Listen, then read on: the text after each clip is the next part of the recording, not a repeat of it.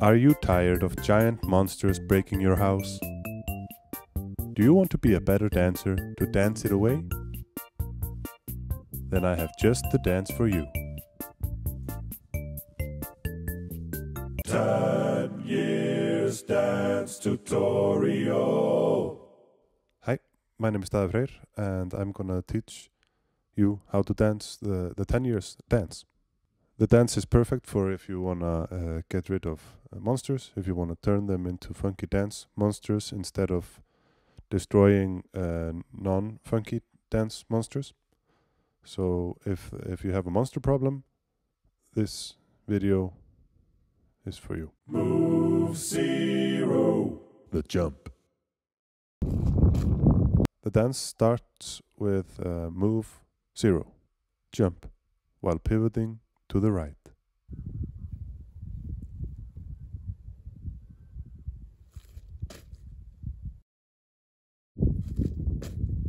Move one. Flowy hands. The first move, flowy hands. To dance like Gagnamagnið, um, you almost always have to think right. So every move either starts from the right side or turns to the right. So um, if you're thinking right, you're probably right. In this move, keep your hands fairly loose. First, the right hand goes to the front and the left hand goes back. You use your hands kind of like a like a paintbrush. While you do this, bend your knees slightly to the beat. After you've put your right hand to the front and your left to the back, then you do the opposite. Put your left hand to the front and your right one to the back. But this time you keep your left hand in the front position. The right hand then catches up to the left hand in the, in the front, and right as it has done that, you you whip them to the back like so. This may feel silly uh, while you do it, but believe me, it's gonna look super cool. Very hip.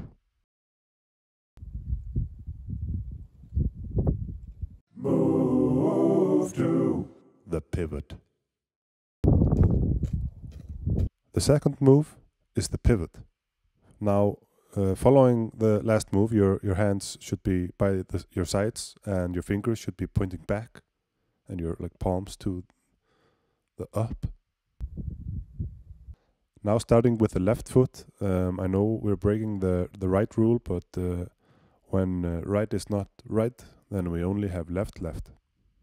So yeah, starting with the left foot, um, take small steps and uh, slowly turn to the front. And while you do this, uh, your your fingers that were turning back, they are slowly turning to yours away from you.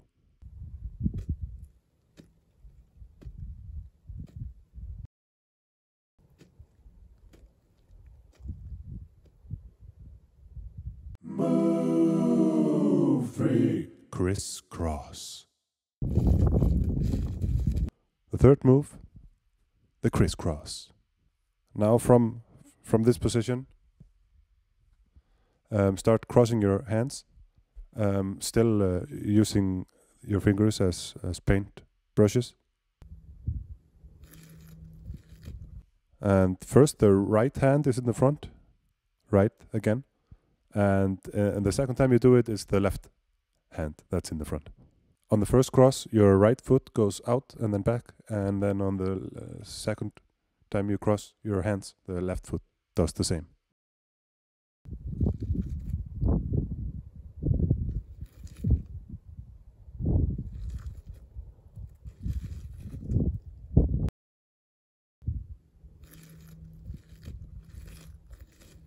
Move four the mind screw. The fourth move, the hardest move of them all. This uh, may look like the one of the easier moves, but uh, at least to me, it was probably the hardest one. I don't know why. It just was. Um, now keep your left hand to your side, uh, your left side, and your right hand goes goes out and makes like a half circle. And while while that's happening, your left foot also does a half circle, and your right foot is is, is standing ground, so so you um, don't fall, but you you bend it, bend it a li- little bit.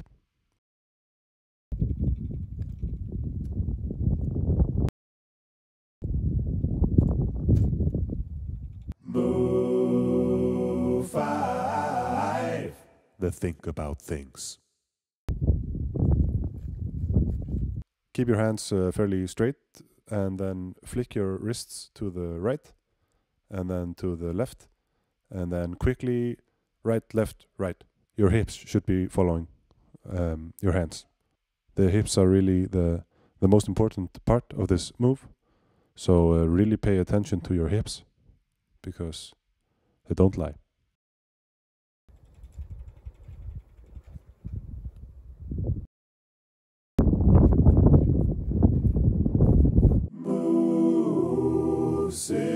Six. the body feel. Put your hands in front of your hips and slowly drag them up your body. As you drag your hands up, you also slowly go up on your tippy toes.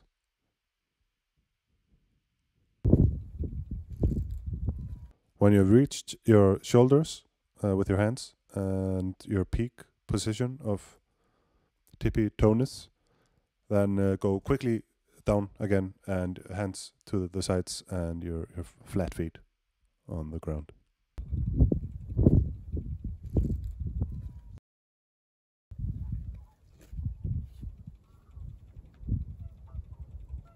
Move seven. The stepper. Take a step to the right with your right foot and then move your left foot in. Now take a step back and to the left with your left foot and then move your right foot in. Now take a step forward with your right foot and move your left foot in so you end in the in the starting position. And while this is happening, um, your hands are doing nothing. They they just stay to your sides.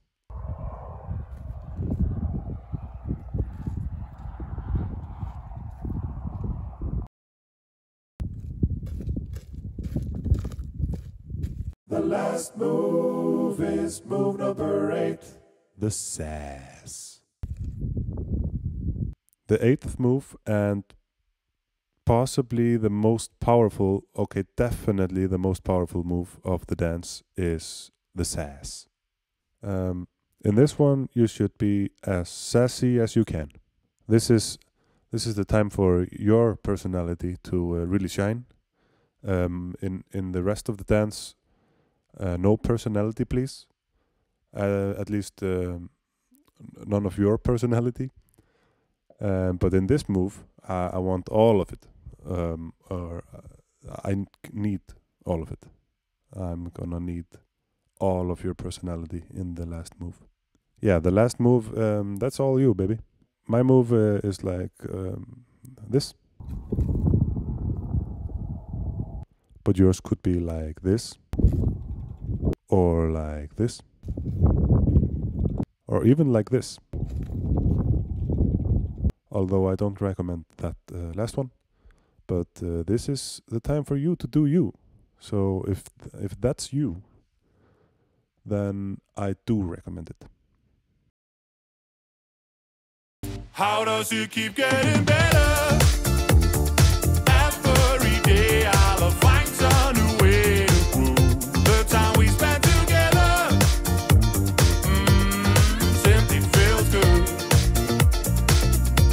We got a good thing going. How does it keep getting better?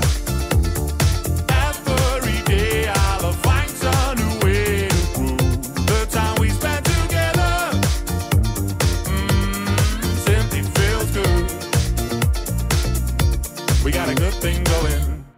I hope this uh, helps with your uh, dance fighting of giant monsters. Um,